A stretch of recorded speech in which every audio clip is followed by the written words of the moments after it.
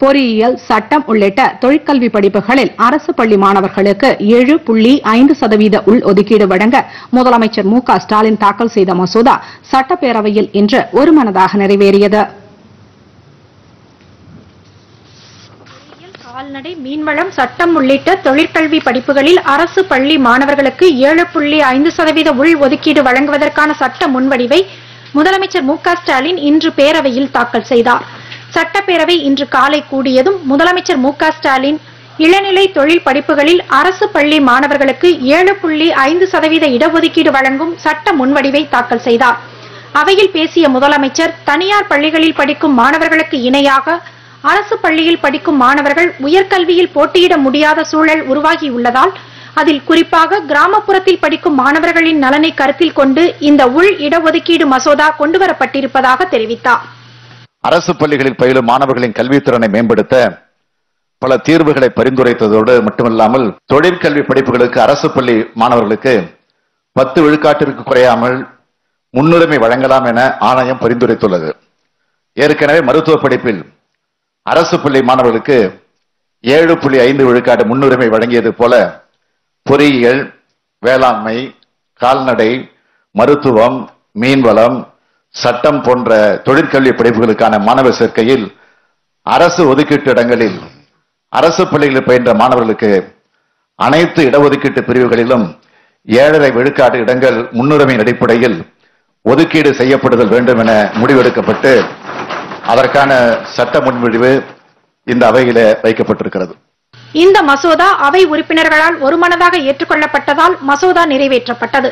இந்த சட்ட முன்வடிவை கொண்டு வருவதற்கு முன்பாக தில்லி உயர்நீதிமன்ற ஓய்வு பெற்ற நீதிபதி தா. முருகேசன் தலைமையில் உயர் அதிகாரிகள் கொண்ட குழு அமைக்கப்பட்டு அந்த குழு பத்து சதவீதத்திற்கும் மிகாமல் அரசு பள்ளி மாணவர்களுக்கு இடஒதுக்கீடு அளிக்க வேண்டும் என்று பரிந்துரை செய்ததன் அடிப்படையில் இன்று இந்த அவையில் சட்ட முன்வடிவை கொண்டு வருவதாக முதலமைச்சர் மு. ஸ்டாலின் கூறினார். முன்னதாக கூடலூர் சட்டமன்ற உறுப்பினர் பொன் ஜெயசீலன் வனப்பகுதியில் இருந்து காட்டு யானைகள் கிராமப்புறங்களில் புகுந்து வீடுகளையும் பயிர்களையும் நாசம் செய்து வருவதாக சிறப்பு கவன ஈர்ப்பு தீர்மானம் கொண்டு வந்து பேசினார்.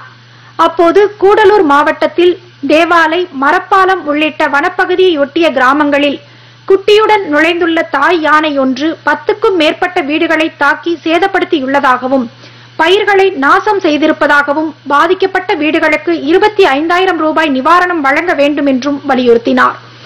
இதற்கு பதிலளித்து பேசிய வனத்துறை அமைச்சர் ராமச்சந்திரன் இந்த இரண்டு யானைகளையும் வனப்பகுதிகளில் விரட்ட வனத்துறை குழுக்கள் மற்றும் கும்கி யானைகள் மூலம் நடவடிக்கை எடுக்கப்பட்டு வருவதுடன் இந்த யானைகளின் நடமாட்டம் பற்றி ட்ரோன்கள் மூலம் கண்காணித்து வருவதாக கூறினார். தொடர்ந்து நடப்பு நிதியாண்டிற்கான பள்ளி கல்வி மற்றும் உயர்கல்வித்துறை சம்பந்தமான மானிய கோரிக்கைகள் மீது விவாதம் நடைபெற்றது.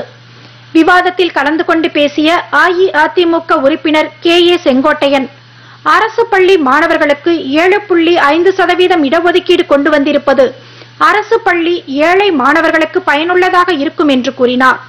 கடந்த இரண்டாயிரத்து பன்னிரண்டு முதல் இரண்டாயிரத்து இருபது வரை அரசு பள்ளி மாணவர்கள் உயர்கல்வியில் சேர்ந்ததற்கான எண்ணிக்கை மிகவும் குறைவு என்றார். பொதுமக்கள் மத்தியில் ஆங்கில மோகம் இருப்பதால் பெரும்பான்மையான பெற்றோர்கள் தனியார் பள்ளிகளில் தங்களது குழந்தைகளை சேர்ப்பதாகவும் இதை தடுக்கும் வகையில் முந்தைய அரசு எல்கேஜி யூகேஜி வகுப்புகளை அரசு பள்ளியில் தொடங்கியதாகவும் இதன் மூலம் நாற்பத்தி இரண்டாயிரத்து அறுநூற்றி தொன்னூற்றி ஒரு பேர் பயனடைந்துள்ளதாகவும் செங்கோட்டையன் கூறினார். அரசு பள்ளிகளில் மாணவர்கள் சேர்க்கை சென்ற ஆண்டில் ஒரு லட்சத்து இருபதாயிரமாக உயர்ந்ததையும் நடப்பாண்டில் இது மூன்று லட்சமாக உயர்ந்துள்ளதையும் செங்கோட்டையன் சுட்டிக்காட்டினார். மேலும் மாணவர் இடைநீற்றல் பூஜ்ஜியம் புள்ளி ஏழு ஐந்து சதவீதமாக உள்ளதை முழுமையாக குறைக்க இந்த அரசு நடவடிக்கை எடுக்க வேண்டும் என்று செங்கோட்டையன் வலியுறுத்தினார். வில்லிவாக்கம் சட்டமன்ற உறுப்பினர் வெற்றி அழகன் விவாதத்தில் கலந்து கொண்டு பேசுகையில் தமது தொகுதிகளில் உள்ள கீழ்ப்பாக்கம் மனநல மருத்துவமனையை தரம் உயர்த்த வேண்டும். தமிழகத்தில் உள்ள நூற்றி இருபது கல்வி மாவட்டங்களில் சைனிக் பள்ளிகள் போன்று உண்டு உறைவிட பள்ளிகள் தொடங்கப்பட வேண்டும். அண்ணா நகரில் உள்ள பெரிபரல் மருத்துவமனையை மருத்துவக் கல்லூரி மருத்துவமனையாக தரம் உயர்த்த வேண்டும் என்று கேட்டுக்கொண்டார். திருவண்ணாமலை அரசு கலைக்கல்லூரி பெயர் மாற்றம் தொடர்பாக திமுகவின் கலசப்பாக்கம் சட்டமன்ற உறுப்பினர் பேசூதி சரவணன் பேசுகையில் மீண்டும் அக்கல்லூரிக்கு கலைஞர் பெயரை சூட்ட வேண்டும் என்று கேட்டுக்கொண்டார். இந்த கோரிக்கைக்கு உடனடியாக பதிலளித்த உயர்கல்வித்துறை அமைச்சர் பொன்முடி திருவண்ணாமலை அரசு கலைக்கல்லூரி மீண்டும் கலைஞர் கருணாநிதி அரசு கலைக்கல்லூரி என்று பெயர் மாற்றம் செய்யப்படும் என்று தெரிவித்தார். இதற்கு முதலமைச்சர் ஒப்புதல் தெரிவித்துள்ளதாகவும் கூறினார். பொதுப்பணி மற்றும் நெடுஞ்சாலைத்துறை அமைச்சர் ஏவா வேலு இந்த அறிவிப்பு திருவண்ணாமலை மாவட்ட மக்களுக்கு மகிழ்ச்சி அளிக்கும் அறிவிப்பு என்றும் இதற்காக நன்றி தெரிவித்துக் கொள்வதாகவும் கூறினார். விடுதலை சிறுத்தைகள் கட்சி சட்டமன்ற உறுப்பினர் ஷானவாஸ் பேசுகையில் மொழியியல் பல்கலைக்கழகம் ஒன்றை ஏற்படுத்த வேண்டும் என்று கேட்டுக்கொண்டார். அஇஅதிமுக உறுப்பினர் கே பி அன்பழகன் விழுப்புரத்தில் ஜெயலலிதா பெயரில் பல்கலைக்கழகம் அமைத்திட வேண்டும் என்றார் இந்த கோரிக்கையை அரசு ஏற்காததால் தாங்கள் சட்டமன்றத்திலிருந்து வெளிநடப்பு செய்வதாக கூறி எதிர்க்கட்சித் தலைவர் எடப்பாடி பழனிசாமி தலைமையில் அஇஅதிமுக சட்டமன்ற உறுப்பினர்கள் வெளிநடப்பு செய்து அவையை விட்டு வெளியேறினர். பள்ளி கல்வித்துறை அமைச்சர் அன்பில் மகேஷ் பொய்யாமொழி அரசு பள்ளியில் பயிலும் மாணவர்கள் பயன்பெற உயர்கல்வி தொழில் மற்றும் வேலை வாய்ப்பிற்கு வழிகாட்டும் ஆலோசனை மையம் அமைக்கப்படும் என்றார். பேச்சு ஆங்கில வகுப்புகள் அரசு பள்ளிகளில் மாலை நேரத்தில் நடத்தப்படும் என்றும் புரிதல் தன்மையை மேம்படுத்த வகுப்புகள் நடத்தப்படும் என்றும் கூறினார்.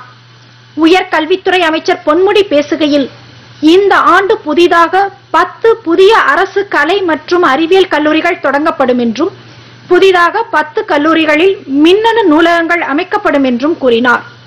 ஆசிரியர் மற்றும் மாணவர்களின் படைப்பாற்றல் தனித்திறன்களை மேம்படுத்த ஐந்து மண்டலங்களில் செய் கலைஞர் ஆய்வுக்கூடமும் டிப்ளமோ வணிகவியல் மாணவர்கள் பிகாம் படிப்பில் நேரடி இரண்டாம் ஆண்டில் சேர வழிவகை செய்யப்படும் என்றும் தெரிவித்தார்.